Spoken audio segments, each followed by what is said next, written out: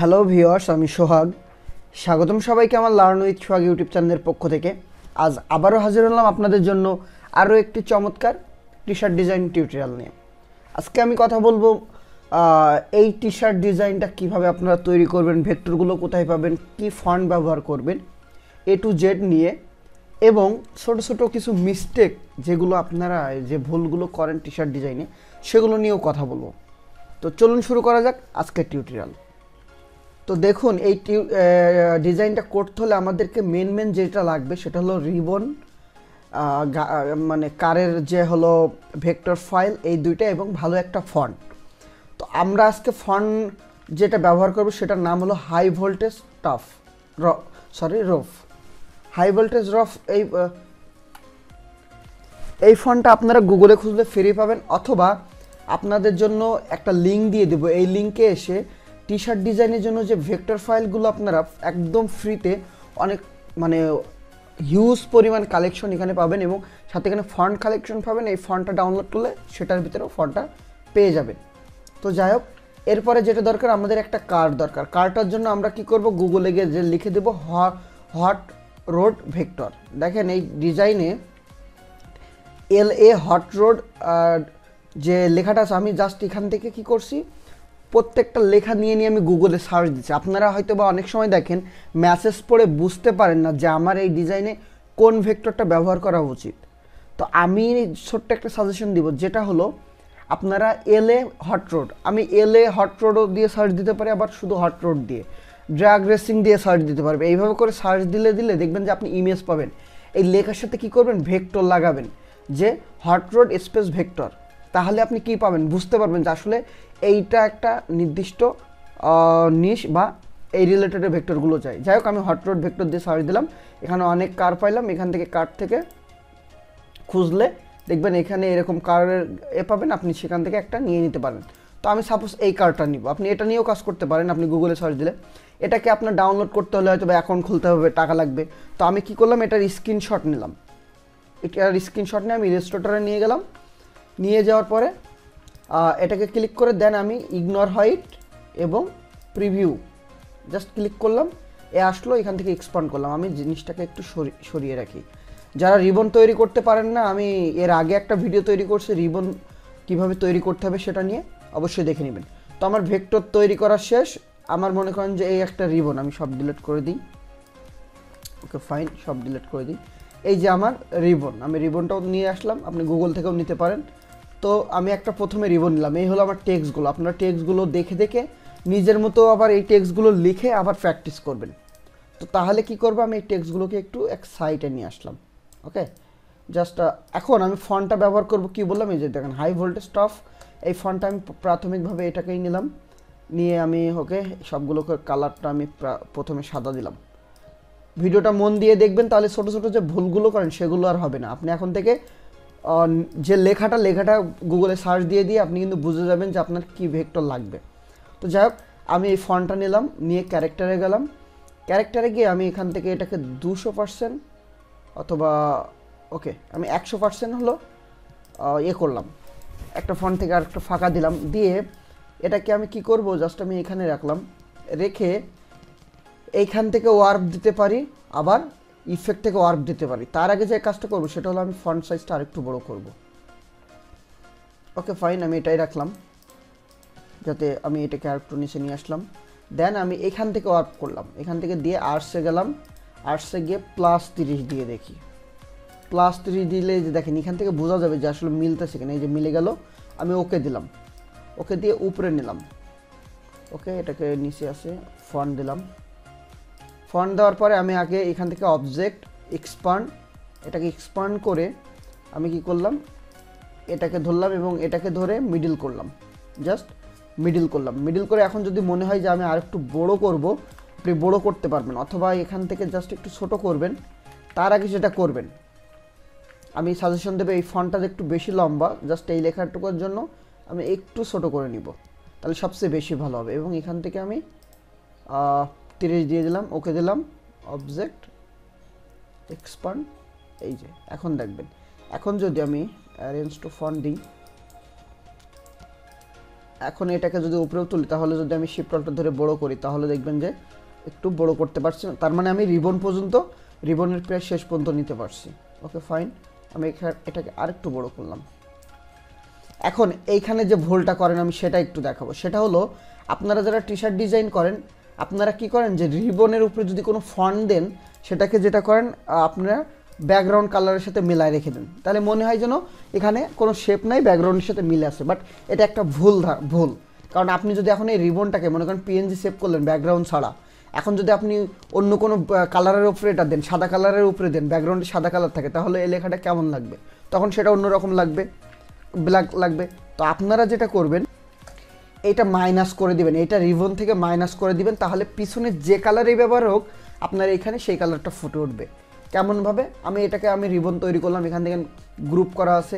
Control eight দিয়ে compound পাত করে নেব। কন্ট্রোল এইট দিব, এই গ্রুপের জায়গায় দেখবেন যে চেঞ্জ হয়ে যাবে। কন্ট্রোল এইট দিলাম, এই দেখেন কম্পাউন্ড পাত হয়ে গেল। এখন আমি এটাকে ধরবো এবং নিচেরটাকে ধরবো, ধরে আমাকে ক্রপ করব, তার আগে আমি একটু ব্যাগে যাই। এটাকে আমি একটা কপি রেখে দিলাম। পরে আমার লাগবে যখন। এখন কন্ট্রোল এইট দিয়ে কম্পাউন্ড পাথ দেন দুইটাকে ধরলাম, ধরে এখান থেকে মাইনাস দিলাম। এই যে দেখেন, খুব সুন্দর করে মাইনাস হয়ে গেল। এই যে দেখেন, তাহলে আর ফন্টের যে হলো গ্রাঞ্জি ইফেক্টগুলো ছিল, সেটা এখানে থেকে গেল। এটা হলো। তারপরে কি করবে? এই যে ড্রাগ রেসিং ঠিক আছে? ড্রাগ রেসিং আমি ফন্টের নামটা কি বললাম? এটা। ওকে এটা কপি করে নিলাম। নামটা যাতে আমি বারবার ফন্ট এটাকে নিলাম। এখানে পেস্ট করলাম। এই যে দিলাম।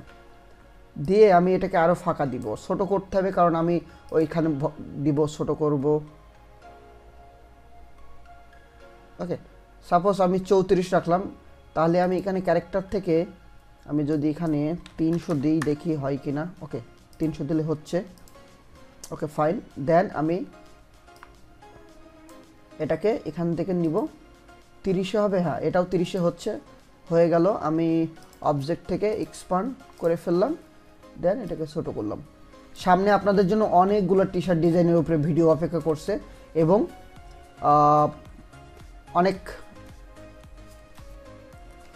কঠিন কিছু টি শার্ট ভিডিও থাকবে। এগুলো তো খুব সিম্পলের ভিতরে বাট সেগুলো খুব কঠিন কিছুর ভিতরেই থাকবে। ওকে আমি এটা দিলাম, এটাকে আমি আরেকটু নিচে নিয়ে আসলাম জাস্ট একটু ফাঁকা রাখলাম ওকে ফাইন ব্যাস হয়ে গেল। এবার দেন এই যে লেখাটা। লেখাটাকে আনব। ফন্টের নাম এটা দিলাম। দিয়ে আমি আগে এটাকে ক্রিয়েট আউটলাইন করে ফেললাম ওকে ওকে আমি এটাকে কিন্তু এটার সাথে অবশ্যই অ্যালাইন করব। সবসময় সব কিছুর একটা অ্যালাইনের ভিতরে রাখবেন, তাহলে দেখতে সুন্দর লাগবে। দেন এটাকে আর এটাকে একটা গ্রুপ করে ফেললাম। এটার সাথে এটাকেও একটা গ্রুপ করব। এই যে গ্রুপ করলাম গ্রুপ করার পরে কি করব? আচ্ছা এখান থেকে একটা আমি লাইন নিব, প্রাথমিকভাবে। লাইন আমি কালারটা, ওকে, কালারটা বাড়াই।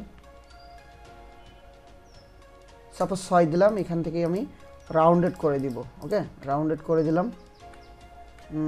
আর একটু ছোটো করি।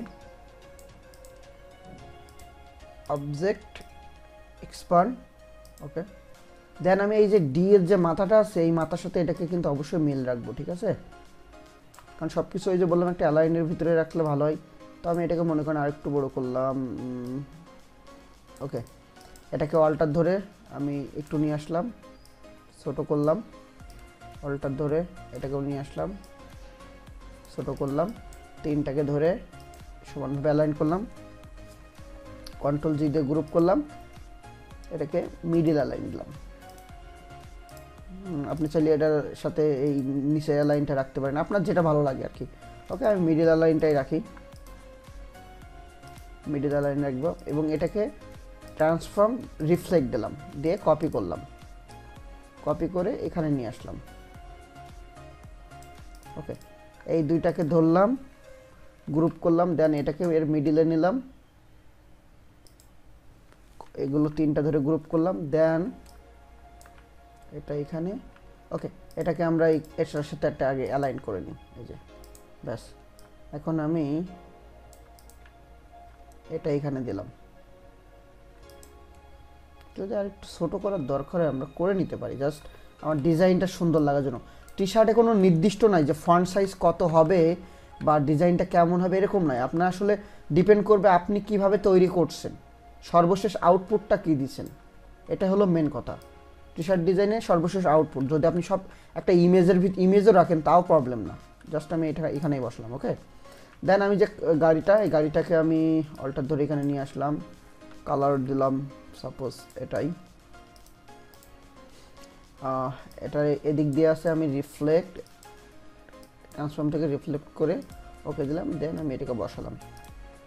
প্রাথমিকভাবে এটাকে আমি এটার একটা ক্লিক করে আমি এটাকে স্টিল রাখলাম অ্যালাইন করব। বাট এটাকে সবসময় একটু সামনের দিকে সরাই রাখব, তাহলে আমার কিছু জিনিস লিখতে সুবিধা হবে। আমি হয়তো এটাকে একটু ছোট করলাম।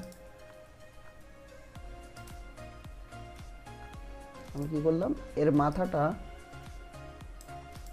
ওকে শিপ ধরে জাস্ট এই পর্যন্ত রাখলাম। এবং এটা উপরে দিলাম।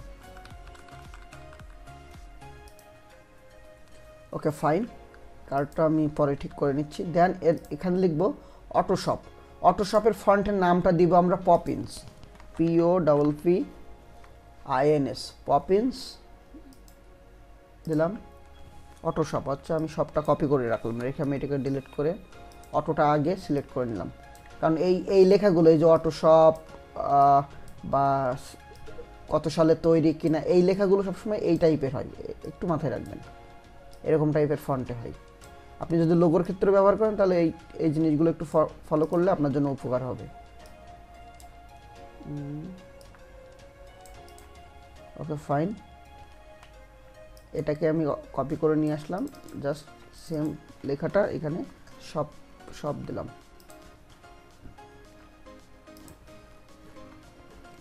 সরি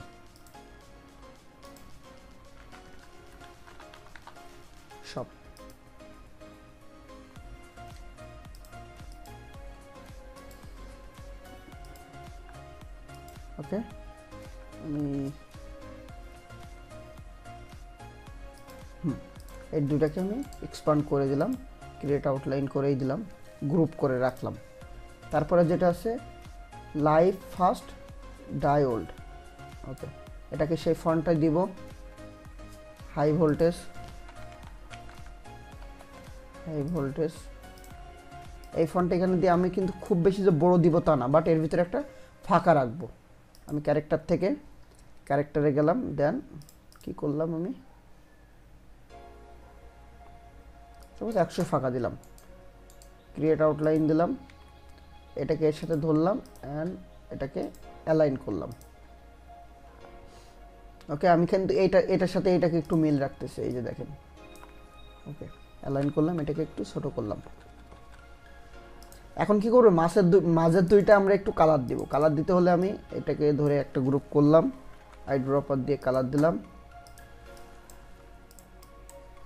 দেন এই যে কন্ট্রোল জি দিয়ে গ্রুপ করলাম। এই যে চলে আসলো। ফরএভার দিলাম। ফরএভার দেওয়ার আগে আমরা এখান থেকে এটাকে একটু নিয়ে আসব ওকে এটাকে নিয়ে আসলাম। সুদ ধরে ঘোরালাম। দেন এই যে অ্যালাইনটা দেখছেন, আমি বলছিলাম না এটাকে, এই অ্যালাইনটা এই জিনিসগুলো একটু খেয়াল রাখবেন সবসময়। যতটুকু সম্ভব জুম করে কাজ করবেন জন্য আপনার অ্যালাইনগুলো ঠিক থাকে, ওকে? আমি এটাকে এই পর্যন্ত তুলে দিলাম। মনে করেন ফরওয়ার্ডটা নিয়ে আসলাম। ওই যে হাই ভোল্টেজ ফোনটা দিব। হাই ভোল্টেজ যারা টি শার্ট ডিজাইন বা লোগো ডিজাইন স্পেশালি শিখতে চাচ্ছেন বা গ্রাফিক্স ডিজাইনের উপরে পূর্ণাঙ্গ গাইডলাইনের ভিতরে থাকতে চাচ্ছেন, তারা চাইলে অবশ্যই যোগাযোগ করতে পারেন। আমার মাঝে মাঝেই প্রায় দুই মাস পর পর নতুন নতুন একটা করে ব্যাচ শুরু হয়। তো সেখানে অ্যাড হলে হয়তো বা এই বিষয়গুলো আপনার পূর্ণাঙ্গ একটা গাইডলাইন পাবেন। আমি এখানে দুশো পঞ্চাশ দিলাম। দুশো পঞ্চাশ দিলাম। এই যে দুশো পঞ্চাশ দিয়ে আমি এটাকে আরেকটু বড় করলাম ওকে এখন আমি কি করব এখান থেকে? এটাকে ক্লিক করে মাইনাস তিরিশ দেবো। মাইনাস তিরিশ দিলাম। এই যে হলো। এখন কি করব? অবজেক্ট থেকে এক্সপান ওকে এটার সাথে একটা অ্যালাইন করব। একটু ছোট করব। হুম ওকে এই যে দেখেন। বাট এখানে একটা ভুল কিন্তু আমি করছি। সেটা হলো আমি এটাকে ব্যাগে যাই। একটু ব্যাগে যাই। ওকে ব্যাগে গিয়ে আমি যেটা করব এখান থেকে আর্টস না করে আমি লোয়ার এই যে আর্টস লোয়ারটা করব সরি আর্টস আপারটা আর্টস আপারটা করলে কি হবে? ও শিট ও মাইনাস দেওয়া আছে, আমি এখান থেকে আর্টস আপার দিয়ে জিরো দিলাম প্রথমে, দিয়ে প্লাস করতেছি। Arts upper up arts lower দিলাম, দিয়ে তিরিশ দিলাম। এই যে দেখেন। ওকে তিরিশ না দিয়ে আমরা একটু এবার ট্রাই করব অন্য তিরিশের কম দিতে, তাহলে আমাদের জন্য সুবিধা হবে। ওকে চব্বিশ দিলাম। এবার অবজেক্ট এক্সপান্ড ওকে দিলাম। দেন এটাকে ধরে এর সাথে একটা অ্যালাইন করব। এই যে দেখেন।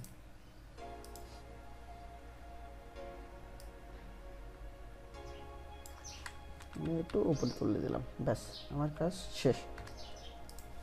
এরপরে যেটা আছে, ক্যালিফোর্নিয়া। ক্যালিফোর্নিয়া, ওই যে একই ফর্ম বাট যেটা করব সেটা হলো এটাকে আমি ক্যারেক্টার থেকে একশোই রাখলাম। দেন এখান থেকে তিরিশ দিব। ও সরি সরি এখানে তো আমার অন্য একটা করা। আমি এখান থেকে আর্টস আর্টস দিব মাইনাস তিরিশ। কারণ আমার উল্টাভাবে বাঁকবে এই যে ওকে এখন অবজেক্ট এক্সপান্ড ওকে দিলাম। সরি এটাকে ফন অ্যারেঞ্জ টু ফন করি। দেন উপরে দিলাম। এখন কি করব? এটাকে আমি একটু জাস্ট এদিকে টান দিয়ে একটু মোটা করে নিব, কারণ আমার এটাকে একটু মোটা করতে হবে। ওকে, আমি এটাকে ধরে দেন মিডিলে করলাম